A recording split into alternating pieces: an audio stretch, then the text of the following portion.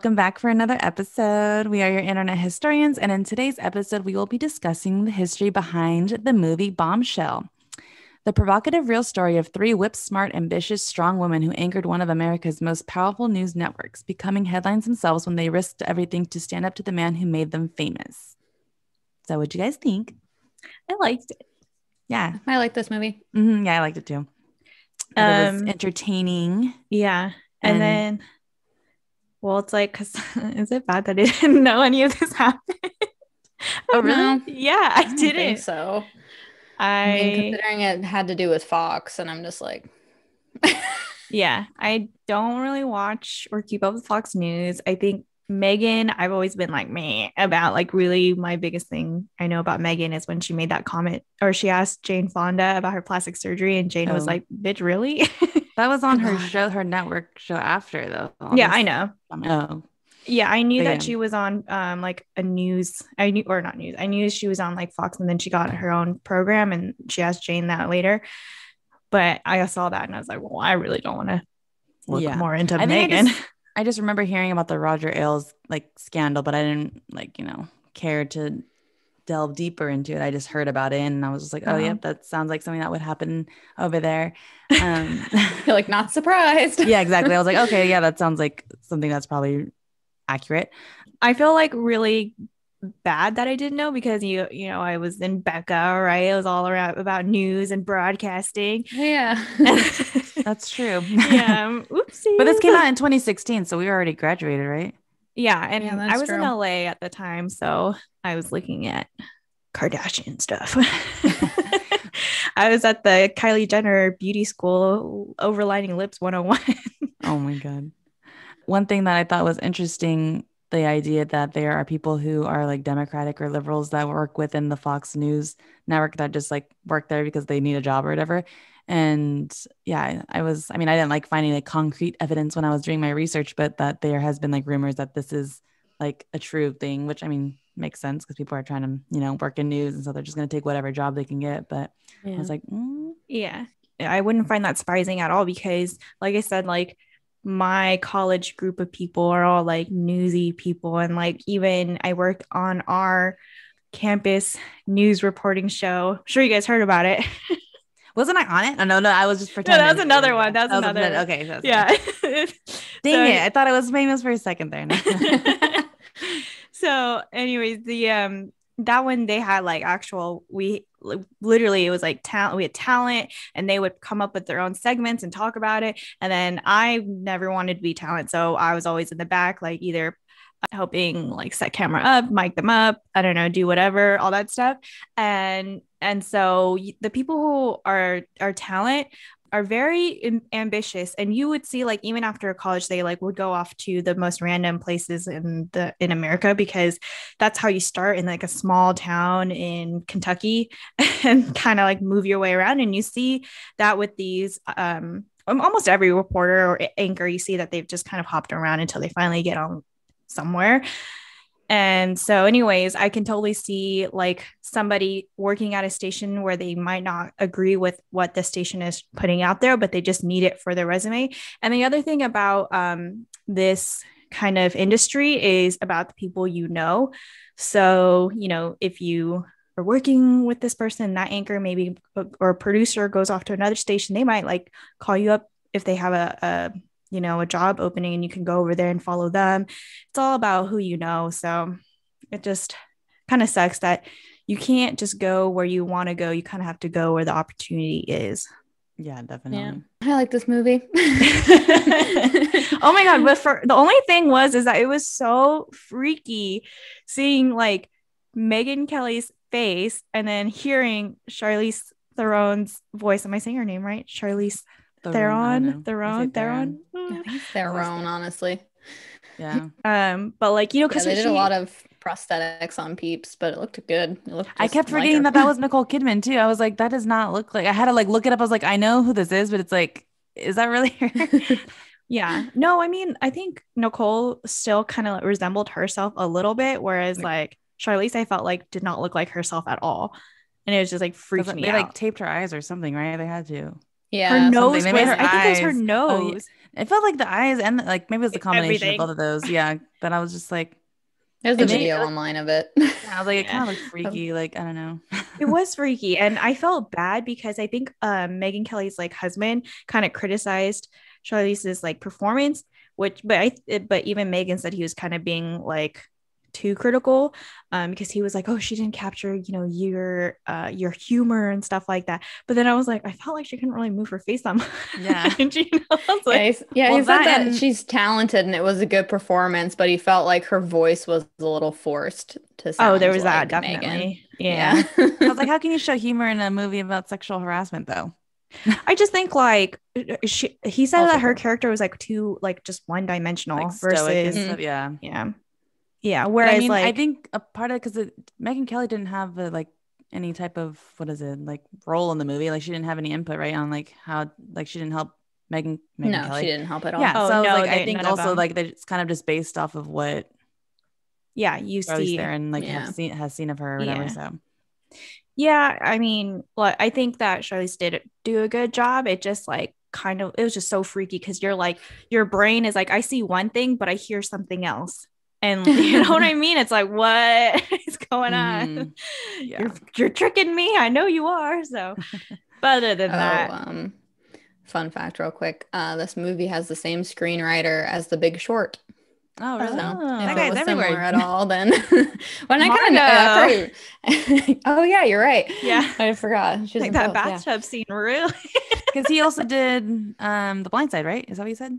Is that what we Uh, said? no, the the author of the book was the same as The Blind Side, Oh, okay. but not the screenwriter for the movie. Okay. Yeah.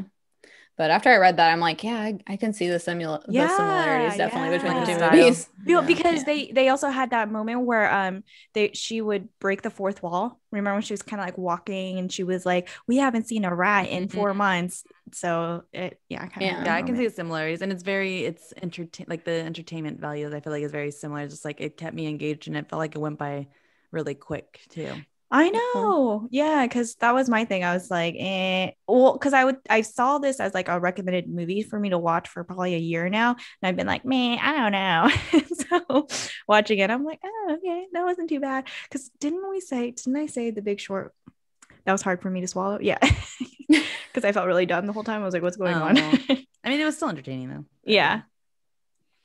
Anyways. Yeah, it seemed like I feel like this movie. I mean, it took me a bit to watch. I mean, I I watched it the year that it came out, but I feel like I was kind of put off at first because I thought that it would be really sad and depressing. And then while it does have its sad moments, I think overall it's a pretty good movie, and it doesn't Mhm. it doesn't bring it I feel down like too much. yeah, like even though it is about like something, I guess a serious topic, I feel like it more has Mhm. a, a role of like people, like the women coming, like being like, okay, we're taking back the power, kind of. a thing, Yeah. yeah. So I feel like it's more not, ins- I don't know, if inspirational, but yeah, it's like kind of more like Uplifting, yeah, like, empowering, let's get- powering. take some other effort back instead Yeah, of being kind yeah. of sad. there's one scene I wanted to talk about, but I don't know if we should talk about it now or afterwards. So should I ask you guys now? I yeah, guess, what's yeah. what scene? it's the scene where um like Megyn goes to confront Kayla and she was like, Why didn't you say something? Like, did you think about the rest of us? Like, did you think of what Mhm. you not saying something? Because um there was that like I watched like Megyn do like an interview and they brought that scene up and um they were like because that scene obviously didn't happen and they said that Megyn or Megyn said that she would never react like that either um and they kind of didn't like how it was scripted because they even said oh that was written by a man I was like Mm. mm. well, there is some. I, that's what I was gonna say too. There was another article. I mean, I guess we'll just talk. We're talking about the scene now. okay Um, there was an article that I saw that was saying basically how Megyn Kelly kind of used this all of this to her like advantage almost, and I was like, I didn't check to see, but I was kind of like, I don't know how I feel about this article because it was saying that like, yeah, this stuff happened to her, but she also used it as a way to, like a stepping stone or something yeah, I guess to like do. There was something else within happening within, I guess, Fox where she was kind of. Because she um, wanted to leave maybe like I maybe forget. I didn't really read the article because I wasn't Oh. really sure how I felt about it. I didn't and- read it I'm like yeah. what is it this well, it was just like I don't know because I was going to read it, and then it kind of started saying something. I was like, I don't know how I feel about that. About them saying like, oh, she was using this to her advantage when it was like she was the one who was being Yeah. sexually harassed. I was like, I didn't really take the time to read it fully, but then, but that just kind of reminded me of of that how like I don't know twisting. I guess not twisting, but it's like taking um, what is it like liberties with someone else's like narrative, I guess you can Mhm, say. mhm. And yeah, just Yeah. remind me of that. Well, yeah, I was just kind of curious on your opinion on that because I think that scene was kind of hard to watch because, Yeah. you know, I think it was showing how Megyn was kind of trying to be like, hey, um, I'm trying to have this girl moment with you. And the girl kind of s- accused her in a sense. And then she kind of fought back. And I don't know, like, I think it's I a feel like- really, I see. I feel like I see where they were trying to go with it. I think it was kind of more of a thing like, oh, like I think a general message to like women in general, not necessarily in that moment, like between those two characters, but be like, you should always speak up in order to like help a future victim, kind of a thing. yeah. Um, I guess that's. I, you I know, felt like it yeah i felt like it should have gone a different way like Yeah. the make like you know megyn should have been like i how would i know it would have turned out like this you know? I didn't and you know she she did say in the interview she was like i do think about that. I do wonder if like i spoke up then would things be different? What I was actually gonna- I had that whole little section Oh, that if you want yeah because I thought I thought it was really interesting. I had it um so yeah that's from um an insider article in 2020 it was a whole thing where Megyn uh, and some people that were a part of it they all had a viewing party together and then I think she would release it on like her YouTube or something yeah like that's that, where i watched it Yeah. yeah her reaction and like her feelings. So yeah, she said, yeah, that she had wished um, she had done more or spoken up sooner. She said, quote, it's funny because I look at the Me Too movement and at no point in my view did victim number 17 blame her blame harassment on victims 1 through 16 she said that's not the way this movement has shaken out she continued in the video saying doug asked me uh, would you would you take that scene out of the movie if you could and I said no, because the truth is that I've looked back on my own life every moment from that moment forward. And I do wish I had done more. Kelly said, What if I had thrown myself in the fire back then? Maybe that wouldn't have happened to you. So yeah I was just, just gonna think about it. Yeah, I was gonna say maybe that scene was also trying to be something like more like an internal monologue, but like played out Mhm. between two characters Mhm. instead. Like maybe I don't know. That's yeah, Maybe that's like her- yeah, that is a good point. yeah, her like maybe they're just like, oh, this is like more yeah, an internal thing in her within herself, and then we're just putting it into characters. So that way, it's like an outward monologue. Mhm. um, so maybe that could I- also be. an but I do- of it. I do disagree with one person blaming the other one for not speaking up. I don't think Yeah. that's right.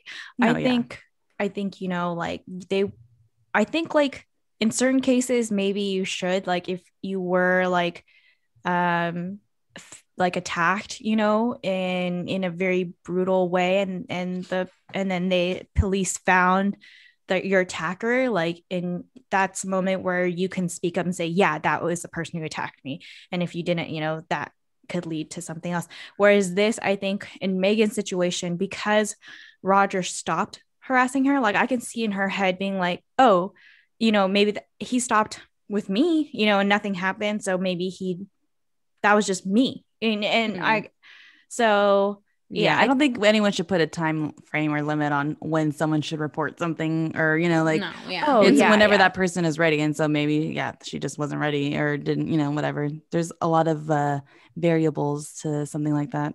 right And it's always just kind of difficult with harassment and sexual harassment because it's the whole thing. I mean, it, it's the basis of the Me Too movement. It's, you know, you could come forward and say something, but are you going to be believed? And unfortunately, it's, you know, takes how many people? 20, 23 people that came out against him. And it took that many Yeah. for people to be like, "Ah, well, if it happened to 23 women, maybe there is something here. And it's just like, as opposed to, you know, violent crime where it's just like, yeah, there's evidence. Yeah, we have it on video, you know, all that type of stuff. I mean, well, you can have this on video too, but, um, but, Yeah. but crimes like that, where it's just like, it's public, you know, people are around public knowledge type of things like, oh, we're very much going to believe this person. But it's like, unfortunately, with like this type of violence, it's just, she probably felt like, you know, who's who's gonna believe me type of a thing. I might as well just be quiet and Yeah. Mhm. which- And I mean, also, I think it's even discussed kind of in the film, like the whole power dynamics. He's like the person in charge of the whole Fox News, basically. And it's just like, you know, like you said, people aren't going to believe you. They're going to want to, and he was had a lot of loyal people with him. So it's like hard to go up against a person like that when you feel like you're the only, like you're only one person. But then when it comes out later that you have, you know, all these women, then you feel more empowered to be like, yeah, actually, this did happen to me too. kind of a thing. And yeah. Yeah, and it's Yeah. kind of. I mean, I'm sure we'll t- talk about you know his defenders, but it's just like it's kind of like those people. It's like, well, I didn't see it. Oh, it didn't happen to me, so it didn't happen to anybody, type of a thing. And it's just like, mm, that's not how that works. Yeah. Mhm. exactly. Yeah, I just yeah, I just wanted to bring that up because I just felt like that scene stuck out to me a lot. And yeah, and I and that and I did have an issue with with um yeah, her kind of doing that blaming and it's, you know. So anyways, um I'll start. So I'll give I'm going to just go through the backstory of our key players here. So, first of all, is Gretchen. So, Gretchen was born in Anoka, Minnesota. She was a prodigy viol- violinist who performed on, the, on radio, television, and even studied at Juilliard School of Music in NYC. In 1988, she was crowned Miss Minnesota. In 1989, she was crowned Miss America, and she was the first classical. what? Really? she's it's good she's doing all this. Yeah, I'm like, dang, she was Miss America. She said it in the movie. yeah, I think it was Did she? mentioned. Oh, yeah. I didn't hear that. Dang, I'm impressed. and she even she even said it like she even talked about her playing violin in the movie too. Because that, that I don't remember I don't that. know. though. If, okay, because there were a couple moments where like um I definitely heard that part where she was said something about her her fingers and how I don't know maybe like the calluses maybe she got or something like that. Uh, and she was like, "Yeah, it reminds me when I play the violin." I was like, "Okay, did that? Did she really play the violin, or are they just like putting that in?" So that's why it like it stuck out to me. So yeah. So uh, yes, she was Miss Minnesota. Then she was Miss America in 1989, and so with that win, she obviously um, that opened her up to many opportunities. So she met with President Reagan and made many television appearances. One of them was her playing a newscaster on bloopers and practical jokes with Ed McMahon. McMahon. Ooh, I'm sorry, and Dick Clark. After uh, after that, she was hit up by Hella Television Agents. That was how I wrote it. it was basically launched, and that basically launched her career in broadcast TV. She then she then traveled around and worked as an anchor with smaller tele- television stations. So, like I said, it's kind of like I'm trying to think of a a good um, small television station, which to me I think of as like KTVU, but then I don't think that's small because that's in LA.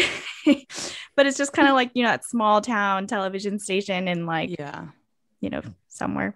Um, and then she finally got a gig with CBS and being a co-anchor of the Saturday edition of the early show. She did report on some big moments like the Oklahoma City bombing, OJ Simpson murder case, Tick, Tim McVeigh execution, and the Se- September 11th terrorist attacks. She first appeared on Fox and Friends as a weekend substitute host in 2006, and then she later became a full-time host for eight years.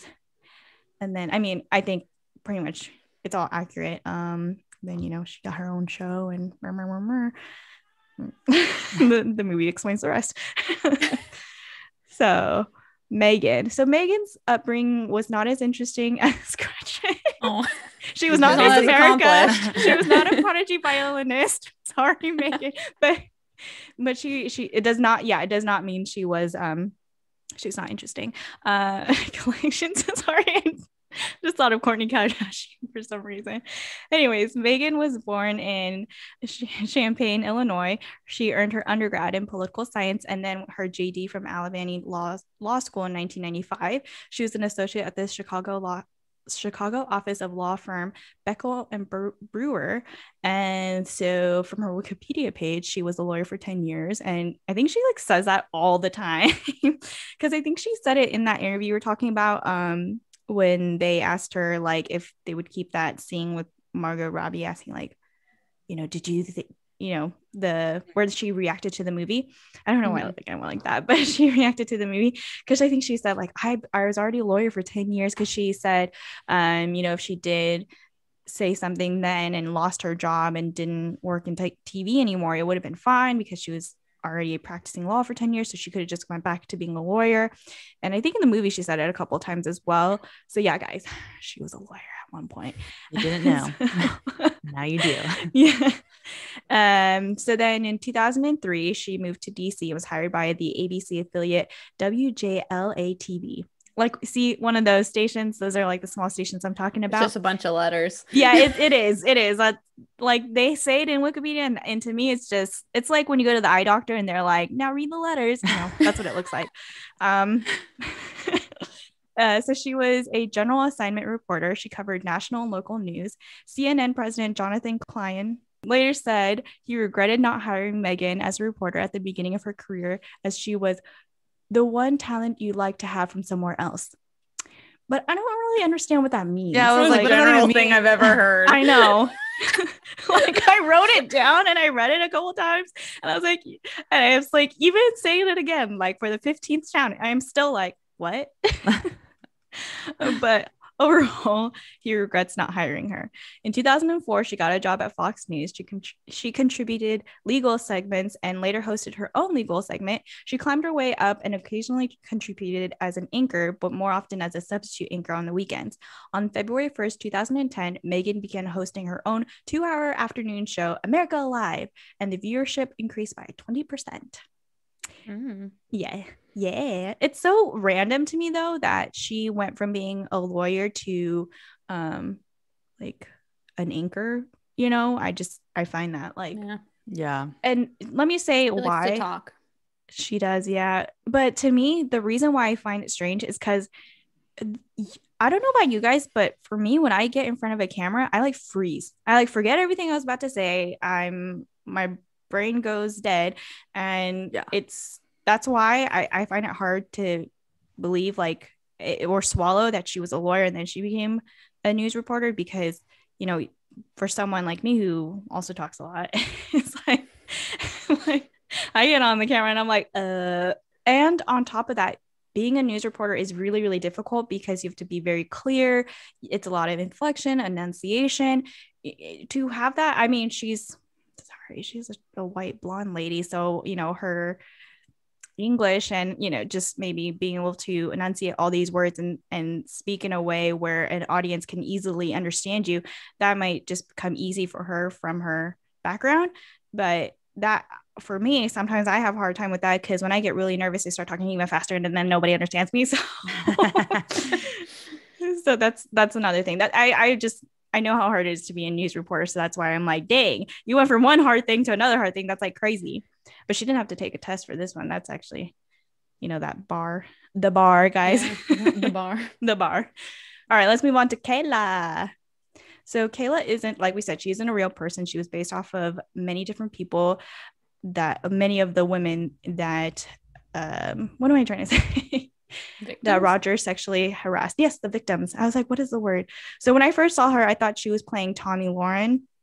But Yeah, I thought so too. yeah, So she reminds me of. yeah, Mhm. I think so. Honestly, I think they wanted to base um some of Tomi into her. Like she said, she was this millennial, right? She's blonde, she's pretty, she's ambitious, and so I think they wanted to take that from Tomi and put it into Margot, or maybe Margot it was inspired by Tomi. Who knows? It's good to also see her character because we're also millennials, and I think it kind of helps us relate to her and see that like it's also it's this stuff is still happening. Because i think for me at least i heard about this all the time. So when i was in college and we um, had to do internships and we would have to report to our teacher like literally all the teachers brought up sexual harassment. And i was like mm, what? Like does that still happen? And it does. So it's like a little bit of a reality check for me all right roger Roger. So Roger was born in Warren, Ohio. His parents did divorce, but I didn't see much detail about them moving out while he was at school. His father was abusive. I did see that, but um, I just didn't think the whole like him being paranoid was that important. Uh, he, he was your he had your typical broadcasting career. So this is like the career that like everybody thought they would have when they first get into broadcasting television. And I say this because this is literally like how they taught it to me at school. You're first a PA, which is a production assistant. You're like the little bitch of the production. then you're the producer, and then you're the ex- executive producer, and then you make connections. And who's his connection? Richard Nixon. He became his executive producer and helped with his pre- presidential campaign. And then he worked with Ronald Reagan with his reelection. Then he wrote a book, and then he became the president of CNBC. And then he was hired by Rupert Murdoch in 1996 to become the CEO of Fox News. So I know that's like very, very short, but I feel like that is the stages. like, you know what I'm trying to say? Like, when you start a career, you literally think that's how it's going to go. It's like you first start here, then you go there, then you go here, then you go there, then you go here. And then you're at the top. Yeah. And if you're a white man, that's how it goes. Mm. Sort of. I thought you were going to say if you're a white man, then you sexually harass and then fall down. I was like, oh my God. so let's um, go into the scandal that Gretchen, her accusations and stuff. In 2016, Gretchen Carlson filed a sexual harassment lawsuit against Roger Ailes. As in the film, she filed the suit after she was terminated from working at Fox News. Her suit was filed by the law firm Smith Mullin of Montclair, New Jersey, when it names Mr. Ailes as the sole defendant. Again, like in the film, she didn't like sue Fox News. She went after him because she couldn't technically yeah. when she was yeah. brought on to Fox. Her lead lawyer, Nancy Erika Smith, said in an interview that Miss Carlson's grievance was with Mr. Ailes personally, not the Fox network. Carlson was indeed gearing up for this lawsuit before her termination, but once she was terminated, obviously pushed them to go ahead and file it right away. Um, and I think this is probably just because, like, as in the film, we also discovered later on that she was like recording all these conversations. So I think she was kind of just like getting a lot of evidence in order to file this lawsuit against him here is like a kind of bullet point format of all the accusations that were kind of laid out in her lawsuit. Um, so Ailes would ask Carlson to turn around while in his office so he could view her from behind. He also regularly com- commented on Carlson's appearance, particularly her legs, and would urge Carlson to wear certain outfits that he thought enhanced Carlson's figure. He told Carlson she was sexy but too much hard work and told her, I'm sure you can do sweet nothings when you want to. Ailes wondered aloud how anyone could be married to Carlson and said that marriage was boring, hard, and not much fun. Ailes told Carlson that if he could choose one person to be stranded with on a desert island, he would choose her. Ailes told other people in Carlson's presence that presence that he had slept with three winners of the Miss America pageant, but not Carlson, because mm. like, like you said, she won the Miss America pageant in 1989. On a separate occasion, as Carlson walked over to greet him, Ailes said that he remained seated when women approached him, so they had to bend over to speak to him. Ailes asked Carlson how she felt about him and then said, Do you understand what I'm saying to you? When Carlson met with Ailes in 2015 over concerns of her treatment at the company, Ailes told her, I think you and I should have had, had a sexual relationship a long time ago, and then you'd be good and better, and I'd be good and better. Um, sometimes problems are easier to solve that way. Mm. At the mm. same meeting, he told her that he could make anything happen for her if she listened and understood what he was saying. And then also, I just wanted to mention that the suit also detailed, I guess, some accusations she made against her Fox and Friends co-host Steve Doocy or whatever his name is. And yeah, so but even though he's not like the one that she's going after, she also just kind of put that in there, I guess, to kind of show that there were these things happening to him that she did speak about, but that no one did anything um, about. And then, yeah, so for her compensation, what she was, it just said that she was seeking like monetary compensation for the damages to her career and reputation. Um, but in the end, she was awarded $20 million mm-hmm. everything. So, where are they now? so, Gretchen Carlson in 2017, she wrote a book titled Be Fierce Stop Harassment and Take Your Power Back, which speaks on her experience coming forward with her allegations. She also had a special on Lifetime titled Gretchen Carlson Breaking My Silence, where she travels and kind of investigates stories of sexual harassment. Um, I guess she also worked with Congress members to introduce the Ending Forced Arbitration of Sexual Harassment Act, which is mouthful, um, which mm-hmm. sought to end the practice of cases of sexual harassment at companies being dealt with behind closed doors. So that way they had to, you know, do everything in public and so it allowed employees to take their cases to court instead of just being settled within the walls of that company. There's also a report that I guess the House passed the Forced Arbitration Injustice Repeal Act or FAIR Act, which encompasses the issue Carlson supported, but is more far reaching. And I guess because of the NDA, she can't really go into detail about what really happened to her. That's why she also had no kind of part in the movie Bombshell because, you know, she couldn't say anything. But I guess she was asked kind of like, oh, when you worked at Fox, did like what you were reporting on, did that align with what your true ideals are? And she obviously couldn't really say, but she says that she no longer watches Fox Network. So mm. I don't know. That really says anything. I don't know. Cause when I was reading this, I was like, I don't really care about like whatever, not like about her, but I mean like about what she's doing. And I'm like, I, like, because of again where she worked and like her ideals. Cause I'm like, just that doesn't make her a good person still.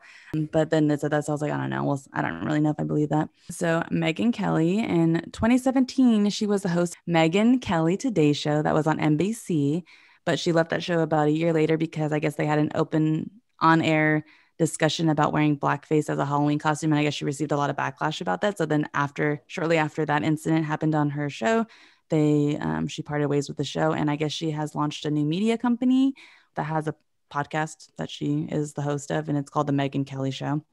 So she has that. And I guess it's like pretty popular. It's like number one on mm. whatever podcasting thing, um, probably for conservative people or something. I don't know. Yeah, that blackface thing. That was probably the first time I'd ever heard about Megyn Kelly. Really? Just because of that scandal. Yeah. I didn't even know that happened because I heard about her show, but I didn't obviously watch it because I didn't care about her. Um, but I didn't even know that happened until I was reading this. Yeah, because like wasn't the gist of it was that she was like half defending blackface if it came from a place of not inspiration, but like from a good place and not a mocking place or something like that. So she's kind of I'm not sure, but I, blackface. I yeah, I'm not know. sure, but I could only assume that yeah, it was because she was defending the use of it, and that's why yeah. it got a lot of backlash, which makes sense. And I'm like, okay, why would some of the yeah, things I mean, she, she later apologized, but it's just like ah. That's what I'm saying. Some of the things these people like think are okay to say or talk, like, I'm just like, why? Yeah. and it's like also like even the fact that she had to come back and apologize. Like, couldn't you discuss this? I'm sure there's people that are producers and stuff on your show. Like, how come people don't like I don't know, like do they not? I mean, realistically, because... it would have yeah made more sense if they would have come. I mean, and maybe they did, and I don't know, but I, I believe her apology was like a written apology. But what have made it would would have made more sense, yeah, is if they if she came back and then had a discussion with I don't know black people, yeah, and brought them on and been like, educate me. That's how that works. Yeah, I don't know, but whatever, Megyn. yeah. So anyway, she's doing her own thing now. Um, and so for Roger Ailes, um, he's dead. uh, Yay! I was like, I don't know how to say this, but uh, he is no longer alive. That took me so long to like figure out because I kept looking him up. I'm like, oh, he's 77. Okay, blah blah blah. Yeah. What's going on? And I was like, how come it stops after like? I was like, how come it doesn't say what he's doing right now? What's going on? And I kept looking, I mean, but he looking, was, looking. And he's also pretty like, oh. old oh. too in the film, and at that time he was already pretty old. But I guess um, yeah, he, my mom um, thinks that his wife did it. Really? she pushed him. yeah, because I mean, I, her and I watched this movie the other night because uh, she hadn't seen it at all, and um, she's like, "How much is he worth? Where's he at now?" And I'm like, "Well, he's dead." And yeah. blah, blah blah. She's like, mm, "The wife did it. oh, millionaire." I know because when we were when I saw that he was on there, I was like, "Oh, what are they up to now?" I was like, uh, "Isn't he dead?" And then I like looked to confirm, and I was like, "Oh yeah, he's dead." anyway, on May 10th, 2017, Ailes fell ill or fell and he fell ill. No, he he fell. yeah, he, he fell. So he, the wife did do it. Oh my god. Yeah, pushed him. So he fell and hit his head at his Palm Beach, Florida home. He died on May 18th, three three days after his 77th birthday. The Palm Beach County Medical Examiner attributed his death to subdural hematoma, aggravated by hemophilia, which is I guess his um, disease that he had, where I guess it has something with the blood clots or that or the other. A lot. Yeah and so i was just like bam isn't that um and this the... so this basically happened right after all this shit happened. i know. That's mm-hmm, crazy. Yeah. i mean some of it was still ongoing technically. Yeah, yeah he died. Yeah. Wow. I guess you're you're literally about to talk about this alec but i just can't believe his wife stood by him. I mean and she was the third wife too, because I was just like, who the heck would marry this guy? Yeah. And then I was like looking into it, and they were talking about Rudy Giuliani and how Rudy Giuliani um, officiated his third wedding, and I was just like, hmm, where are the other women? I guess they got out while they could. Anywho, but yeah, let's let's talk about who supported him. so I got this from Time Magazine and the New York Times. But yeah, they kind of they kind of sort of show this in the movie, but I guess in real life it was kind of more intense that she had contacted oh and get this so the she was an anchor i believe she's like one of the the really attractive anchors that where they had that whole scene in the dressing room where they were putting on all the dresses and stuff like that um, Kimberly Guilfoyle, I believe I say her last name. Mm-hmm. I think so. Um, yeah, she was one of the anchors, and also she is with uh, Donald Trump Jr. Oh Still- yeah, Still with him. and it's just like, mm-hmm. Seems about right. Anywho, so Beth Ailes, Roger Ailes' wife, contacted Kimberly, a Fox News co host, to help marshal support at the network for the Fox News head, according to Vanity Fair. Uh, in the movie, Guilfoyle is portrayed distributing pro, pro Ailes t shirts, demanding that women around the office put them on. And then get this she reportedly left Fox herself in 2018 after allegations of sexual misconduct, which she subsequently denied were made against her. So, Wow. What an didn't know that. I thought environment at with Fox. I don't know. I think she, I think she stepped away or something like that. Um, other women at Fox spoke out on Ailes' behalf, including uh, Greta von Sister, Sistern, Sistern, um, and Jeanine Pirro, who both hosted their own shows on the network. Um, in the movie, we see Pirro confront Kelly at the snack machine, though this is likely fictionalized. Megyn Kelly, meanwhile, remains suspiciously silent as depicted in the movie. Beth Ailes also reached out to Kelly, but Kelly claimed she could not speak out about the situation until the investigation was over. Um, and then there's also a like brief moment where they throw it to uh, the journalist uh, Geraldo Rivera, and he's just kind of like, mm, I don't know what to do. And then I think later he does say something, but um, yeah. So they were in- initially skeptical of Gretchen's claims, but uh, Geraldo Rivera apologized in a Facebook post say, uh, post for casting doubt on her claims, saying he was quote filled with regret. And then also, as I had mentioned, uh, Greta Van Susteren, the TV anchor, she also defended him. And she later published a post to Facebook expressing her own regrets. Quote, um, I read Geraldo's Facebook post in which he said he regretted not believing Gretchen Carlson's claim of sexual harassment. We all regret it.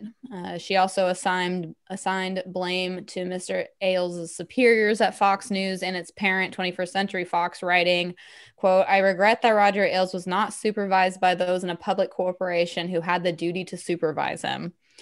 Mr. Rivera, um, who said on Twitter at the time, "I stand with Roger Ailes," and and then Greta at the time said that Carlson's claims didn't have didn't ring a bit of truth to her. And then also, um, not surprising, Sean Han- Sean Hannity dismissed the claims as quote BS. Some of them reversed their positions, but seems largely the male anchor. Yeah, and they probably only reverse their opinions because it's probably backlash or whatever the hell, you know, like against them and like only for their own probably freaking image. Yeah. But I did find it very interesting that uh, Greta said that thing that it should have been the higher ups that were supervising Roger to do something about it. It's just like, that's not how that works. No. He's the like, first of all, CEO. there's, yeah, it's like there's hardly anybody above him. What are you talking about? She's talking about Rupert. I guess. And it's just like he's he's doing other stuff. Like he's, Yeah. Yeah. Well, so at my Yeah. company, it's like the CEO reports to the board of directors, but it, it's exactly the same. Like they're not there all the time, you know, watching him. It and what they kind of supervise is like the numbers, right? So they'll see Mhm. when they have their meetings, they'll see all the numbers and what's the future plan and you know how are we going to fix this and blah blah blah. At least I don't know, that's what it sounds like it goes on in there. And um and yeah, they're not going, how's your behavior? Have you been treating your employees well? You Yeah. know? So yeah, that doesn't make any sense. Um, and what was I gonna say? Oh, did you guys see that Barbara Walters and him were friends? Yeah. I mean, no, but I don't doubt it because TV. Well, Not saying like- anything to Barbara's character, but it's just like it's kind of like the Harvey Weinstein thing. It's just like if you had no experience with it personally, there was nothing stopping you from being an associate with that person. So Well, I was just like, Barb's, what did you have to say about all Barb. this? Barbs. well, I'm just saying. well, I know, mean, yeah. I know that is. I wonder if she because I mean I I try to think that too. Like what if someone I knew like it came out, something like that, I'd be like, yeah. And especially I if it's like uh widely known that you guys are close friends, you know. mhm. It'd be like, hmm. so we already talked about Gretchen. She got 20 mil. You go, girl. But honestly, it doesn't compare to how much Roger got. Okay. So he got, That- how- yeah, that's crazy to me. So how much did he get? Because like, um, where so I thought he got 40 million, but the movie said he got 50 million, and then Wikipedia said that he got 65 million. I mean, regardless, he got hella like way more, way more. have gotten It's in any. the- It's in the millions. yeah, Yeah. way more. And I mean, part of it, okay, one thing I can't like, you know, talk, you know, we can't really um do anything about is that they, you know, he was under a contract. So we don't know what the contract says. So, you know, and I'm sure when they signed that contract, they didn't think this was going to come up. So that could be a huge part of why he got so much. At the end of the day, you know, uh, I don't know. It's I'm not a lawyer. I don't know how those things go. Um, so I watched a oh that one interview that I keep t- referring back to because it's like the only one I watch. um, so it says that Fox spent around 45 million in settlement payouts. Uh, and at the end of the day, that's not a lot of money. Like those victims should get a lot more because uh, some of them lost their jobs. Like so in the movie, you know, that girl that Jennifer Morrison played, um, you know, when Megyn goes to another Mm, station, it's mhm. that girl. So she said that she got fired and she um lost her house. And she didn't say how much she got, but another girl said she got a hundred thousand dollars. I'm like, a Wow. hundred thousand dollars. So if she got, if the other, you know, if they got around the same, that's really not worth it. And So wait, so the girl, so she lost her job at the job place that we saw on. no, no, no. the She lost her job at No. Fox. Okay. she okay. That's she why was, she was there. Yeah. yeah. Okay. she was harassed by Bill O'Reilly. Oh my god. In the interview, she was saying how like Bill would call her while he was mm, mm, mm, jerking off, Yeah. and one time he called her and she was at her mom's house, and she literally put her put him on speakerphone, and her and her mom listened to him. Yeah, I'd Mm. be like, "Are you getting?" I'd be like, "Mom, go get your freaking phone and record this shit." this is nasty. That's so- disgusting. Yeah, that is really disgusting. But like I said, she was one of those people who lost her job, lost her house, and she and that and that- that really sucks. And also kind of lost her career. And that was like a big factor that oh, we'll we'll talk about that later. I need to focus on what I need to talk about.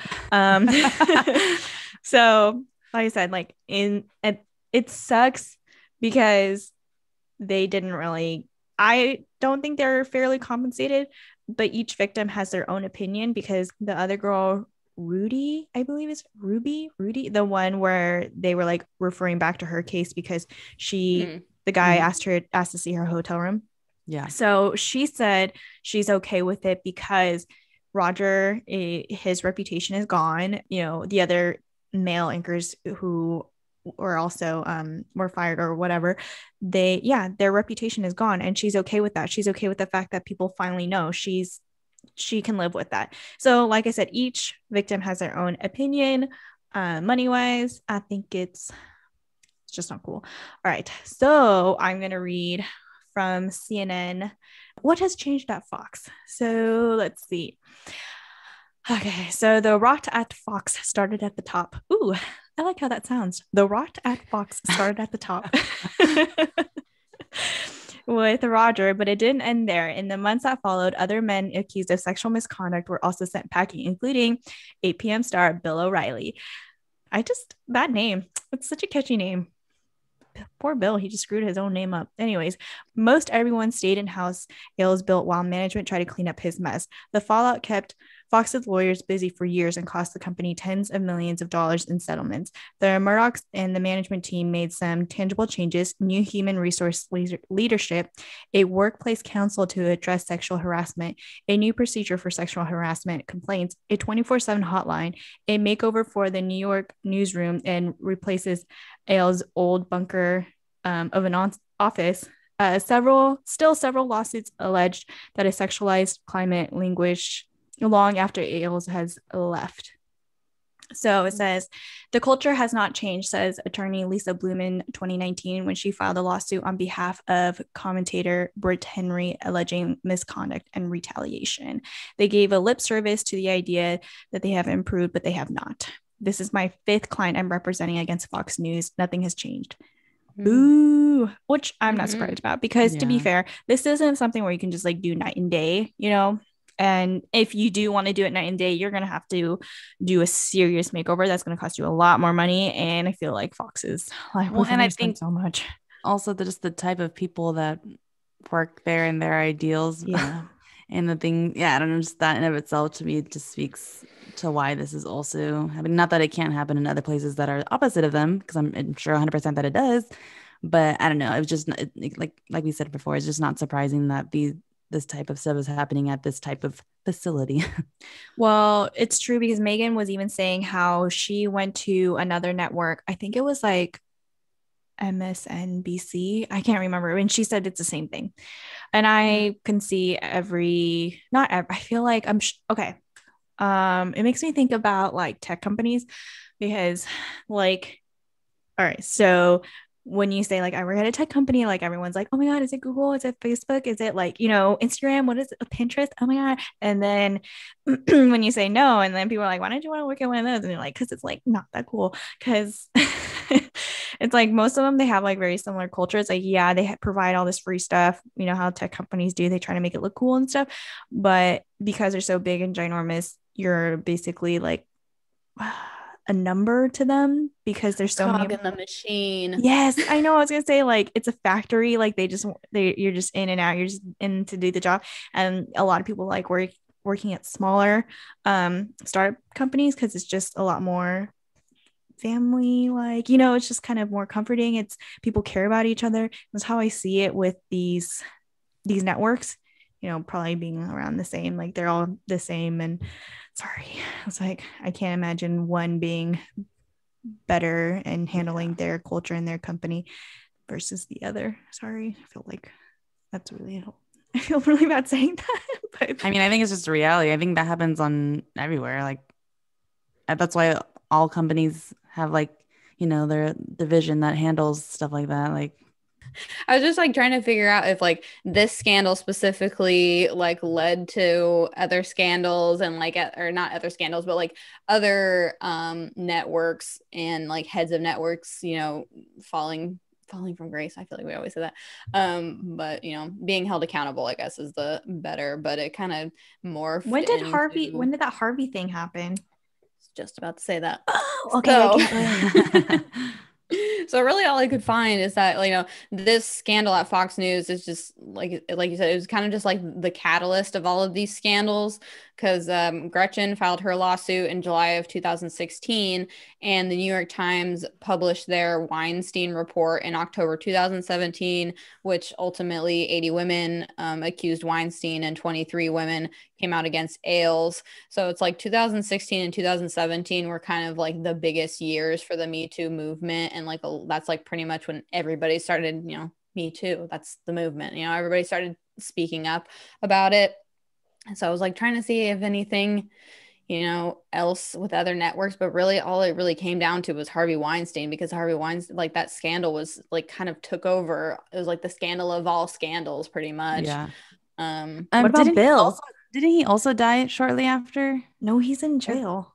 Weinstein, he is. I thought he died. Yeah, he got COVID. I think while he was in jail, or maybe oh. I think he did or something. I remember he. I thought he died. Maybe I'm just confusing the two of them? No, he did not. I'm pretty positive he's in jail right now. Alec, are you looking it up? Yeah. um, but I was gonna ask, yes, like, when was the alive. Bill Cosby thing? Yeah, it was all about the same time. Mm-hmm. Dang. Yeah, all of it. I feel like I'm like, man, what else happened? Who else um, turned out to be a um, disaster? So, yeah, after Everyone. deliberating for five days, a jury convicted Weinstein on February 24th, 2020, of two of five criminal charges one count of criminal sexual assault in the first degree and one count of rape in the third degree. Um, they found him not guilty regarding predatory sexual assault, which could have been a life sentence. Um, ooh, wait, is he in, in Rikers? Wait.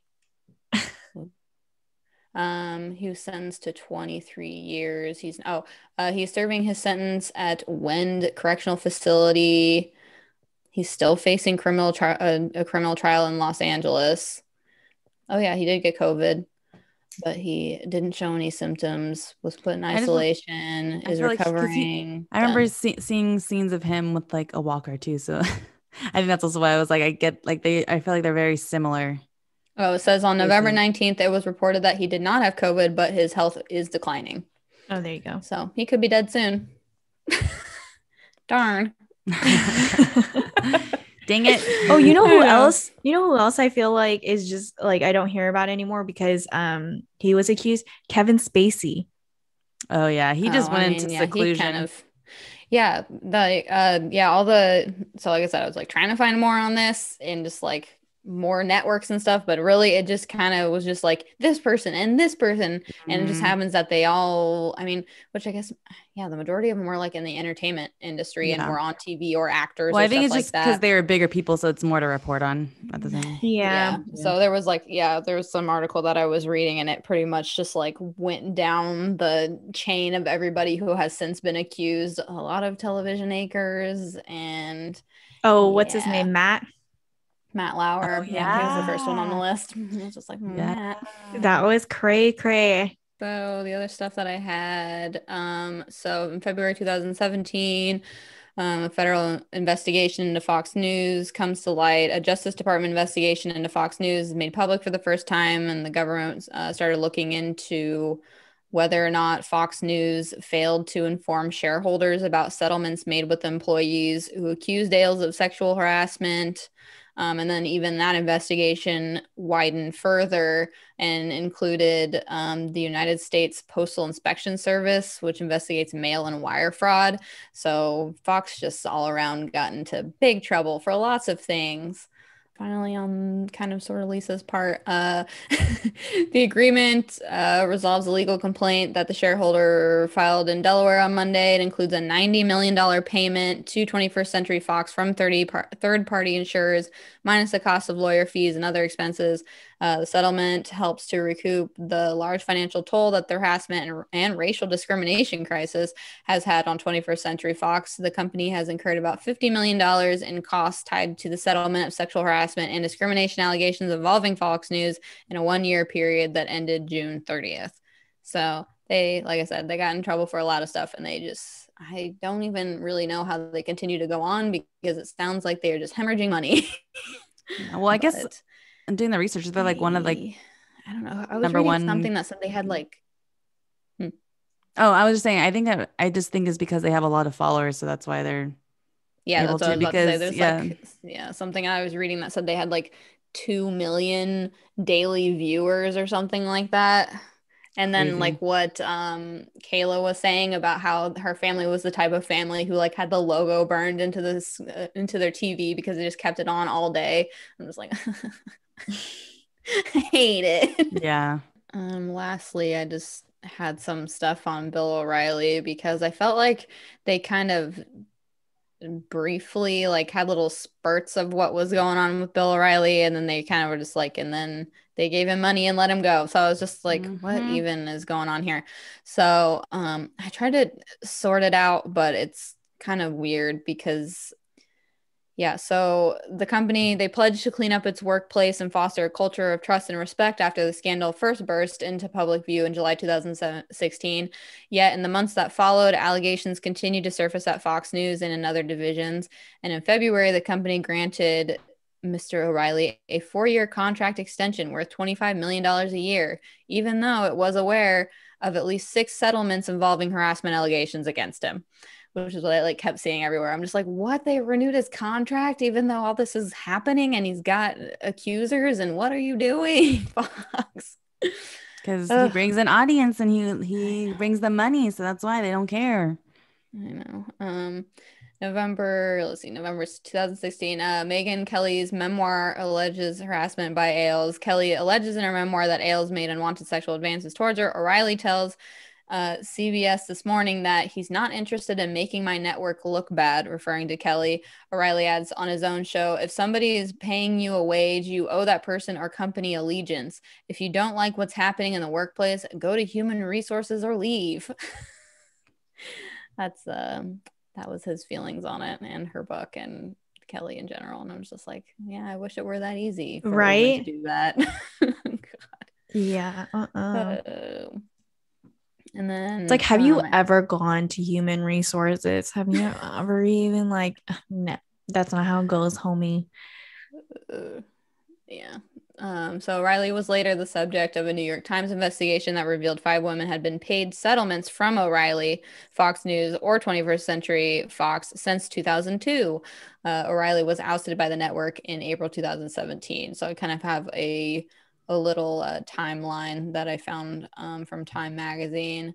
So April 1st, 2017, the New York Times reports that O'Reilly and Fox News News paid $13 million to settle sexual harassment claims um, to a total of five women who worked or appeared on his show to dissuade them from pursuing litigation or speaking out publicly. That investigation included a lawsuit filed by a former producer, Andrea Macris, who was publicly settled in 2004. O'Reilly claimed no wrongdoing in the case. Uh, their investigation included a lawsuit by former O'Reilly, denied any. Yeah, yeah. So he continues to do this. Yeah, I think every single time. So then April 4th, 2017, former Fox News guest Wendy Walsh um, spoke out and said that she was also um, uh, pers- persuaded persuade um, from pursuing legal action. Um, and again, he denied the claims. So in April, on April 9th in 2017, Fox News officially announces that they'll investigate O'Reilly um, after uh, the guest Wendy Walsh and her lawyer Lisa Bloom publicly called in complaint to the network's anon- anonymous hotline. Uh, the network announced Paul Weiss will investigate the claims against O'Reilly. And then officially, official in April, uh, April 19, 2017, uh, they cut ties and announced that he would be leaving the network after the investigation. Uh, Riley had taken a two week vacation, which she said was pre planned on April 11th. So, you know, that had nothing to do with it. He left on his own accord type of situation. So, and I didn't really look into where he is now because honestly, I don't care.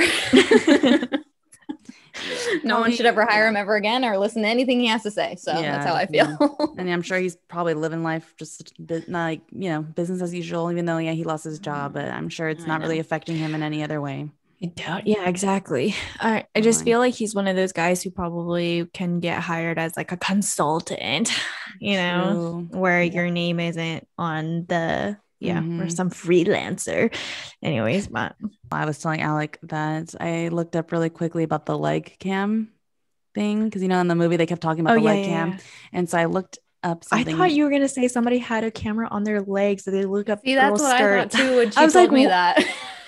I was like, who had that? Cam? Uh, well, let me explain. Uh, so basically, yes. you know, in the film, they kept talking about how there is a camera that they basically use to showcase the women's newscasters or anchors or whatever their legs in it to kind of, you know, because it's a visual medium, as Ailes kept saying. And so I found this article that was actually written in 2013, so three years before the allegations against Ailes even came out. And so this um, article says David Fol- Folkenfil Phil Flick, don't know that name. Um, the NPR media correspondent and author of Murdoch's World recently revealed a little notice feature of Fox News' afternoon opinion a panel The Five. It's called The Leg Cam, and it's exactly what it sounds like. Speaking on November 11th to an audience member in Los Angeles who asked about the network's portrayal of its female, female talent, the book touring author um, who is well sourced within the network, responded. There's responded. There's a camera that they have, and what they do. I'm told this an absolute I'm told this is absolutely true. They sort of they sort of sort the women they have by the degree of attractiveness and particularly the degree of attractiveness tra- attractiveness of the legs. I believe it's the seat on the front right where, having arranged this hierarchy, they put the woman with the best legs there and they have a camera that goes directly for the legs. And so essentially, they have what they call the leg cam, and that is to accentuate the sleekness and design of that particular person on air. And then in this article, they have a couple of like GIFs or GIFs, depending on how you pronounce it, um, of of um, clips of basically the women who are sitting in this are sit, seated in this seat and how like the camera kind of like pans out or whatever pans in into their um into the scene or whatever. And yeah basically the woman who's deemed the most attractive or had like or has the most attractive legs is seated in that first kind of spot. And it's always a woman that's seated right there. So yeah it's true they have it. It's also creepy. Yeah yeah it's super gross. It's like we don't have the mustache cam. You know God. Who has the best mustache? I mean, say, are you really like really attracted to mustaches? That's what I'm Like, I was just different thing there.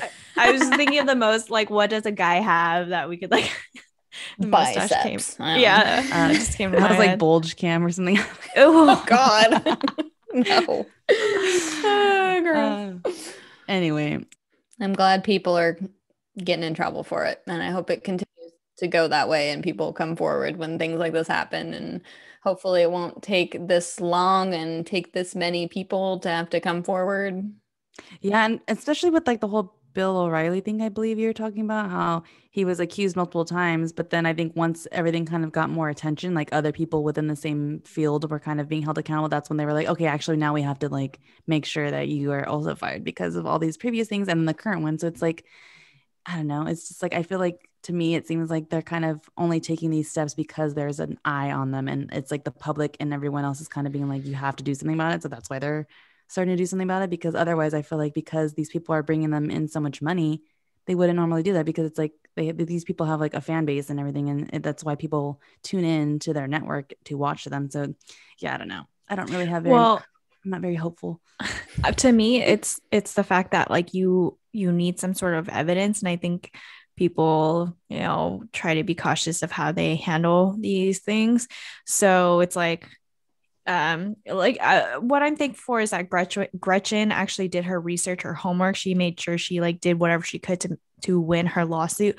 Whereas like other people they may not have those types of resources or even um, who knows where they are financially because i think I, or most lawsuits they don't just take a day you know they take years and who knows how you can fund that and what they're whoever is um going to be yeah so that's like the biggest thing because I, I think the hardest part about stuff like this is that is you have to have some sort of like evidence and it, a lot of people don't just take what you say which sucks but it goes and you know the companies are always going to try to protect themselves too so that's why they Mhm. need that yeah it just sucks people just need to get better hmm Do better. yeah Don't do it in the first place. How about that? That's my and, then advice. if, and if you are the owner of the company and you find out someone within your company is doing something or is being accused, do something about it right away instead of waiting Mhm. until there's yeah, don't try to cover it up. Don't try to uh, Yeah. pay out all these people until it accumulates into ninety million dollars. exactly. And then pay out the people that are doing it. Come on. Thanks for joining us this week on the Internet Historians. If you enjoyed this episode, make sure to follow us on Spotify, Apple Podcasts, po- uh, podcast, Apple Podcasts, Google Podcasts, um, and give us a rating. We would also love to connect with you. So give us a follow on Instagram and also subscribe to us on YouTube. Next week, we will be discussing Frank Abagnale Jr. from the movie Catch Me If You Can. So don't forget to tune in. Thanks again, and we will see you next week. bye Bye.